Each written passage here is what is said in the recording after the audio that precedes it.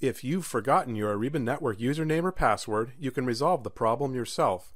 You can retrieve your own username or reset your password.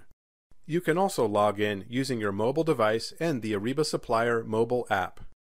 To retrieve your username or reset your password, click Having Trouble Logging In. Select I forgot my username or I forgot my password. Enter your email address. Use the address that you entered when you created your account. Check your email inbox for a message from Ariba. You might need to look for this message in your junk folder. The message contains your username or a link for resetting your password. If you click the link to reset your password, enter a new password.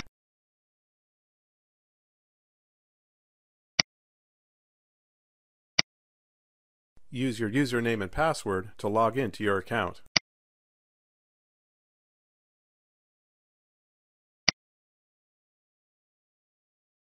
If you have the Ariba Supplier mobile app, you can use it to log into your Ariba Network account on the web. Note that your mobile device must support fingerprint identity.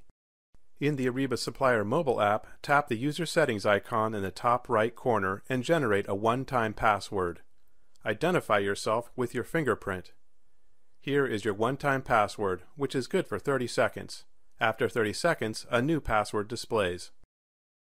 On the Ariba network, select I want to log in with a one-time password.